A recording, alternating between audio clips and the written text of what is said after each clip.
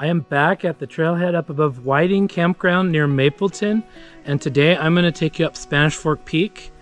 Just past the trailhead, you're going to enter a small gate. The first part of the trail is very easy, anyone can do it, but once you cross the river, it becomes much more difficult.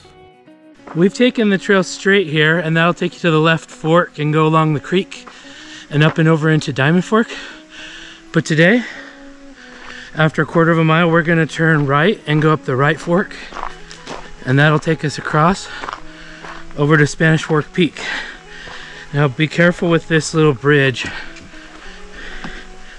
It's uh, starting to get a little sketch, but the creek's low enough you could cross on the rocks if you needed to.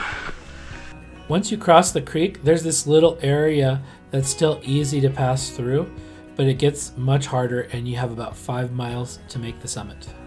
This is how much of the trail looks. So pick your route, stay out of the rocks as much as you can. After about 0.6 miles, the trail gets steeper and rockier and much more difficult. The vegetation and terrain is always changing.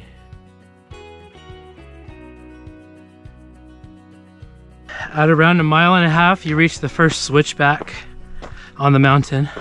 Check out the view just past a mile and a half and listen to the birds. They sound cool.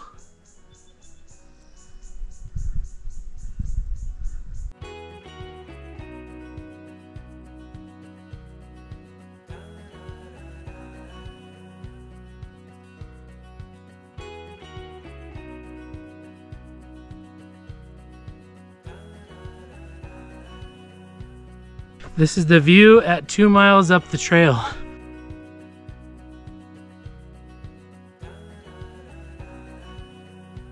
Here's the view at 2.15 miles. This area gets a lot of moisture, so there's a lot of wildflowers. Here's the view from 2.36 miles. Enjoy the birds.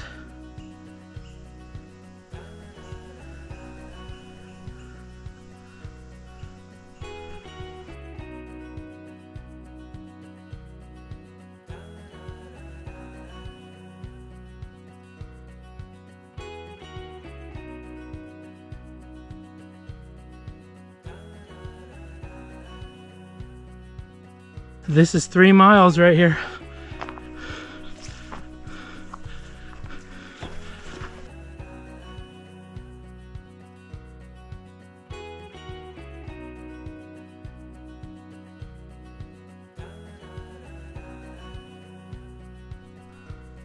This is the view from 3.5.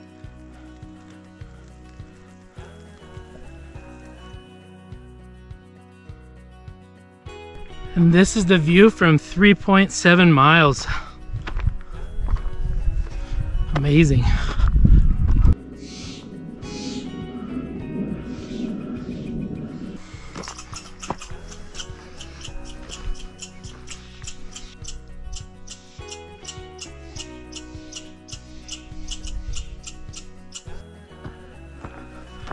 This is the four mile mark and it looks like the lake is dried up like it usually is in the summer. I've seen pictures in the spring, it's a cute little lake.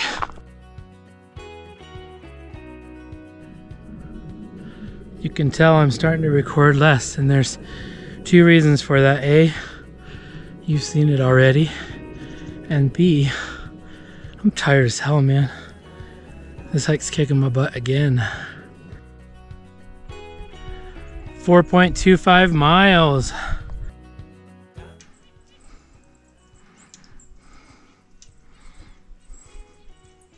This log would normally be easy to cross over, but I'm so darn tired at this point.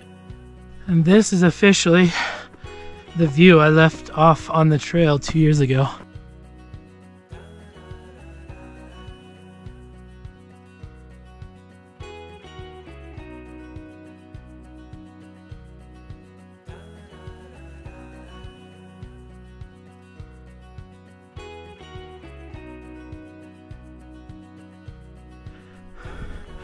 Four point seven five miles.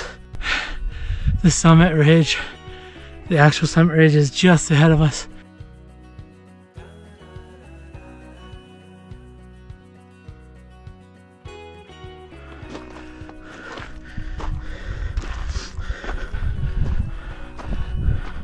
We're on the ridge. Oh my gosh. We're on the ridge. And it got super windy at the top, man. But what a view. What a beautiful, beautiful view.